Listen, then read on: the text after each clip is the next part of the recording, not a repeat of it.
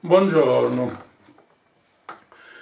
In coerenza con la mia idea più volte espressa che politica e arte sono spesso eh, speculari, vorrei iniziare il discorso citando un articolo, o meglio, riferendomi alla pole polemica che viene fatta oggi eh, sulla politica questa vittoria delle 5 Stelle e della Lega si è scatenata tutta una serie di valutazioni e considerazioni sul degrado della politica. Ora, tutti gli intellettuali che sui giornali nazionali, eh, specialmente quelli di sinistra, affrontano questa tematica, eh, dicono delle cose che sostanzialmente possono anche essere considerate giuste, ma c'è un punto che non, non, secondo me viene trascurato, ignorato del tutto, e cioè la radice. Cioè questi, eh, quando per esempio si accusa l'Italia, si accusa gli italiani, pardon, di essere islamofobi, eh, eh, antisemiti. Si dimentica, si dice c'è stata questa egemonia della sinistra che è durata decenni e nelle scuole tuttora sono professori, docenti, eccetera, sono in grandissima parte di sinistra. Quindi questi islamofobi, questi antisemiti, questi bullisti, eh, bullismi, eccetera, da dove vengono? Da chi sono stati educati. Ecco, questo è il tema che non viene affrontato. Sembra che ci sia una sorta di parallelismo, cioè c'è una parte i buoni e dagli altri i cattivi e si dimentica che i cattivi sono quelli che hanno educato i buoni, eh, cioè, pardon, che i buoni hanno educato i cattivi.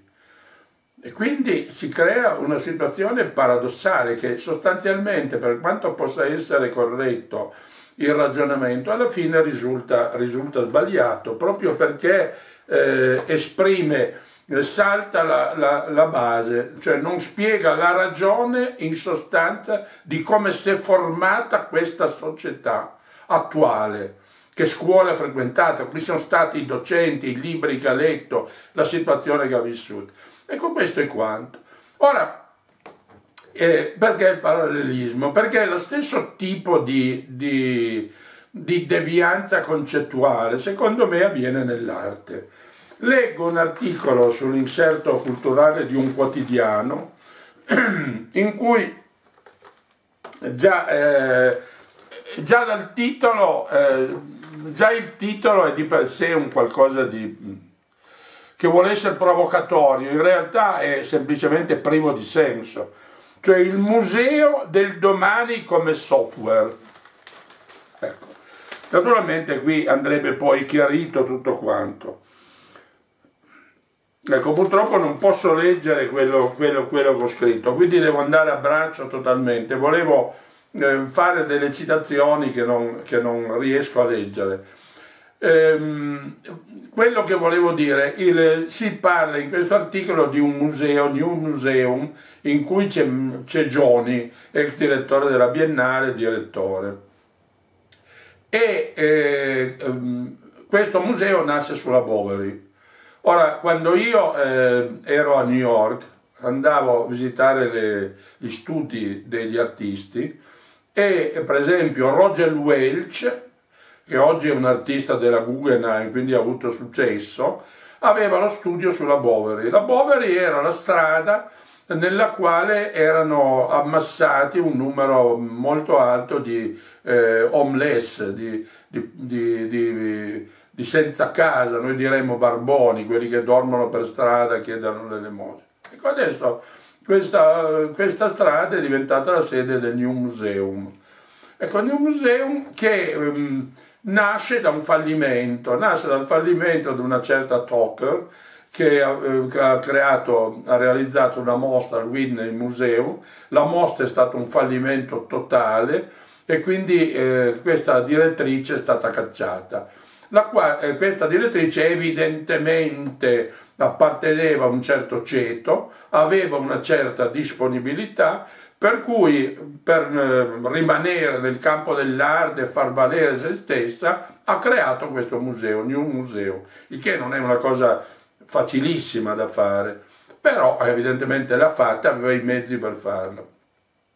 Ora, nel corso di questo, di questo articolo si parla dell'arte come metafora e qui è un, un pleonasmo totale. L'arte è sempre stata metafora, perché se no è, cos'è, un manifesto pubblicitario, un racconto banale. L'arte è necessariamente metafora.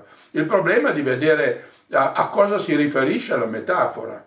Ora, per esempio, una delle mostre che è stata realizzata in questo museo eh, che ha un'impronta eh, ovviamente progressista, ovviamente progressista, è stata la mostra di Carlo Rama, una torinese che io conosco perché operava a Torino negli anni in cui io operavo lo studio 46.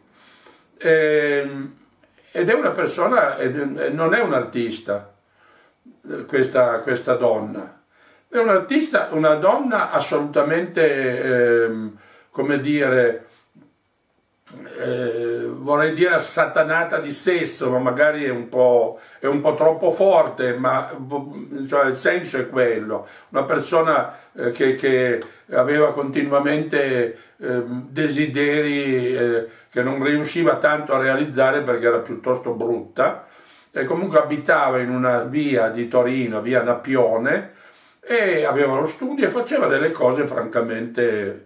Ehm, che non, avevano nulla a quei tempi a che vedere con l'arte.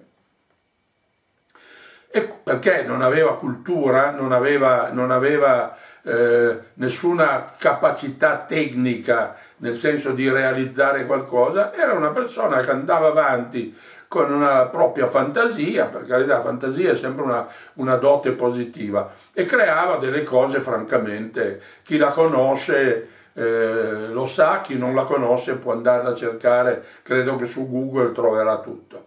Ebbene, il New Museo organizza, eh, organizza eh, quella mostra di Carlo Rama, organizza prevalentemente mostre di africani, di donne, eccetera, tutte improntate al progressismo, per rompere i tabù e rompere le norme. Ora, a me, onestamente, mi si passi l'espressione non elegante, questa storia di rompere i tabù mi ha rotto le palle veramente, perché ormai di tabù da rompere non ce ne sono più. Ecco, diciamocelo chiaro. Diciamocelo chiaro. Cioè, noi nel campo dell'arte non abbiamo più nulla da, da, da, da, violare, non abbiamo più nessun tipo di, di, di legge, di norma da infrangere che l'arte è diventata un qualcosa. Ecco, e qui entra in gioco Johnny no? E, il quale, è, per carità, io non ho nulla contro di lui, ha, ha realizzato una biennale accettabile eh, rispetto all'ultima dello scorso anno, sicuramente era migliore. Ma quello che, una delle tante cose, sarà un parlare prodomo Cicero, ma una delle tante cose che non riesco bene a capire, quest'ansia di nuovo, quest'ansia dei giovani. Ora, il discorso dei giovani è un discorso eh, eh, come quello che parlavamo prima di politica, che non si interessa de, delle radici del disagio sociale. Quando si parla di giovani non si parla alla radice della loro conoscenza. Un giovane, se è giovane, chiaramente non ha esperienza ed ha una cultura limitata. Necessariamente, necessariamente. Io ho quasi 80 anni, sono 60 anni che, che leggo e studio libri e ho una cultura molto modesta. Eppure ho letto centinaia, migliaia di libri, ho una biblioteca di 10.000 volumi e continuo a leggere, a studiare l'attualità e, e non sono ancora in grado di, di, di, realizzare molte cose, di capire molte cose. Può darsi che il mio eh, livello intellettuale sia basso, è possibile, però insomma in qualche modo qualcosa dovrei aver assimilato. Ecco, e quindi eh, eh, quando si parla di eh, in che, che tipo di, di, di, vantaggio? L'improvvisazione, la provocazione, ecco questo è quello che conta. Ma può eh, l'arte basarsi soltanto sulla provocazione? Può l'arte basarsi solo sulla fantasia? Cioè l'arte non dovrebbe avere un contenuto oltre a essere metafora, questo è scontato, l'arte è sempre metafora. se no non sarebbe arte, l'essenza dell'arte è la metafora. E quindi, oltre ad essere metafora, dovrà avere un contenuto gnoseologico, dovrà avere una qualche possibilità di comunicazione per arricchire l'umanità delle persone, non provocarla. Perché poi, oltretutto, si finge, si finge eh, che questa provocazione vada nella direzione del, del, della massa, aiuti la massa, presenti. Non è vero. Questa è l'ennesima menzogna, è l'ennesimo inganno, perché le persone normali che hanno dei problemi normali, sempre più grandi, e non vanno certo al museo per imparare a vivere. Quindi il museo è un, comunque una parte eh, che interessa, è un, è, un, è un, luogo, è la sede in cui vengono presentate determinate cose che interessano una, una minoranza di persone che ha tempo e disponibilità per seguirlo. Questo è sbagliato, bisognerebbe ampliare la base sicuramente, però allo stato dei fatti, nonostante tutto, è ancora così. Quindi quando si parla dell'arte, e, e, e oltretutto l'aspetto negativo per come la vedo io, è vero che è una minoranza tutto sommato di persone che frequenta il museo con una certa assiduità, no? Però, però, però, siccome questa minoranza è una minoranza di, di, di, di industriali, imprenditori, eh, intellettuali, direttori di giornali, eccetera, ecco, se viene incoraggiato loro, il loro disfattismo intellettuale, questa tendenza a volere a tutti i costi questo progresso, questa novità, quest'ansia, ecco, di nuovo, eh, cioè non, non è che di per sé sia qualcosa di positivo, perché bisogna andare alla radice di quello che poi in realtà viene realizzato. Quindi quando eh, noi vediamo che il museo viene mh, eh, strumentalizzato in due modi, da un lato da un punto di vista ideologico, quindi grande spazio per esempio al femminismo, alle provocazioni del femminismo, alle forme di, di, di mm, che tutto, un tempo sarebbero sicuramente state considerate volgari, adesso ormai i tempi sono quelli che sono, quindi va bene così. Quindi questo profluvio di nudi, di atti sessuali, di cose di questo genere. E dall'altro, il, la realtà è che ormai sono i manager dell'arte che determinano il corso, non gli artisti.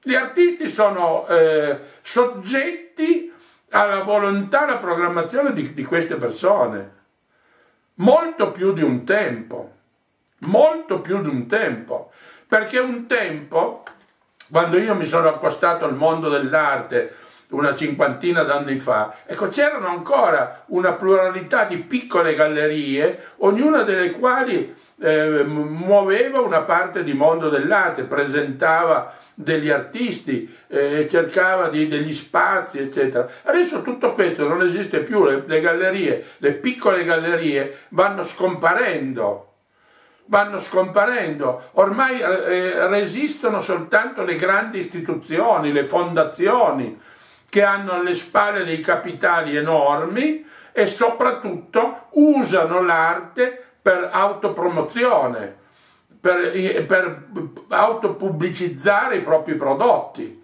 Tanto è vero che la, per esempio in Italia, ma non solo, la maggior parte delle fondazioni sono state create da figlie di industriali, sono state create da case di moda a Venezia è tutto Vuitton, è il padrone di Vuitton, ha tutti gli spazi possibili, poi c'è Prada, poi c'è la maggior parte sono di, di, case di moda. Quindi oltretutto c'è anche questo accostamento che secondo me è discutibile tra, tra, tra moda e arte che viene accostato addirittura nei musei vengono presentati abiti, quindi si è già passato il segno, come fossero opere d'arte.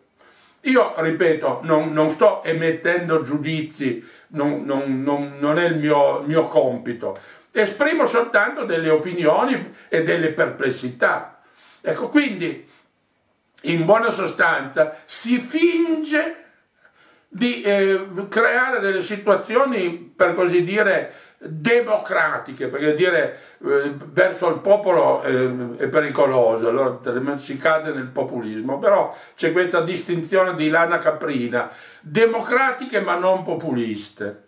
E quindi il, la gestione di queste cose è delle solite persone, cioè le persone che hanno disponibilità economica, che hanno entrature sociali. Tanto è vero che un museo che vuole essere contro, che vuole essere d'avanguardia, che vuole essere di rottura, alla fine eh, conquista la prima pagina del New York Times, che è il, il massima espressione dello establishment americano e quindi eh, condiziona un po' tutto. Quindi c'è questa enorme contraddizione di questa, di questa eh, opera di rottura che però vanno su, su, su, sui maggiori giornali del mondo, come questo articolo che, di cui io facevo riferimento, è su un giornale eh, assolutamente di grande tiratura, uno dei maggiori in Italia. E, e, e quindi allora c'è questa ulteriore contraddizione. Bisogna, quando iniziavano gli artisti, ancora a, a, a fine 800, inizio 900, c'era effettivamente una presa di posizione che gli artisti e i galleristi, i piccoli galleristi, pagavano sulla loro pelle. Lì sì che c'era una vera creatività, un vero atto di rottura non dichiarato, non pubblicizzato, ma nei fatti. Si realizzava nei fatti concretamente. Oggi tutto questo non è più così. Oggi tutto questo eh, basta entrare nel, nel circo ma magico e quindi lì a un certo punto si, parla, si continua a parlare di rottura, di rompere le norme, eccetera, eccetera, eccetera, ma in realtà si gioca all'interno di una classe eh, mondana, di, una, di un'elite eh, di, di, personaggi facoltose, eccetera, magari ignorantissimi, i famosi squiglionari, però che hanno la possibilità di muovere il denaro che consentono la creazione e il mantenimento di musei che vogliono tutti essere nuovi. Infatti questo museo di cui si parla si chiama New Museo, il nuovo museo, è tutto nuovo.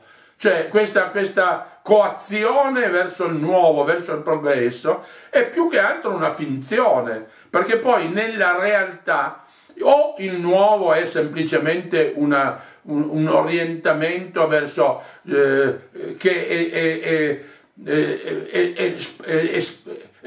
ha, espulso la cultura nel procedimento artistico e c'è soltanto queste forme di, di, di provocazione eh, di carattere ideologico, no? Oppure eh, il museo non, non, non, dovrebbe essere, il, nuovo non è di per sé una caratteristica positiva, perché la caratteristica positiva è nella qualità delle opere, si dovrebbe esprimere attraverso il valore delle opere che presenta.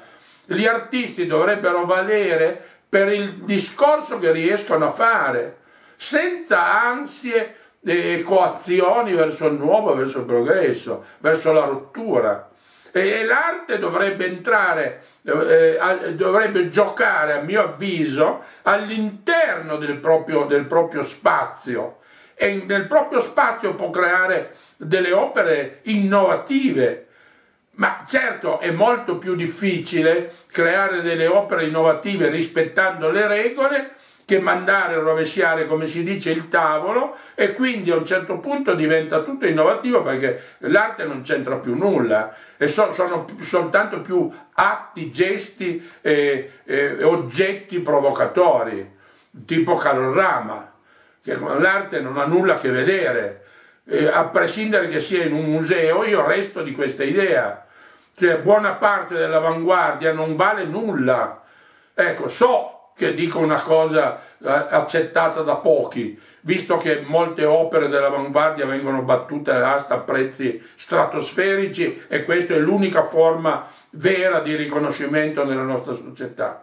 Eh, ma allora non parliamo di rottura, non parliamo di nuovo, non parliamo, parliamo di una abilità nel creare situazioni di mercato che sostengono determinate opere e che siccome il, la capacità di fare arte è sempre minore, perché nelle accademie eh, non insegnano quando si parlava di radici, per esempio per quanto concerne l'arte, cioè nelle accademie non, non, viene più insegnato nulla perché i, i, i grandi maestri eh, si fermano ai soliti delle avanguardie storiche dell'inizio secolo. E quindi tutto il resto è, non dico che sia dimenticato, ma diciamo che non è preso in considerazione, non, è, non, non costituisce uno stimolo per la creazione di nuove opere.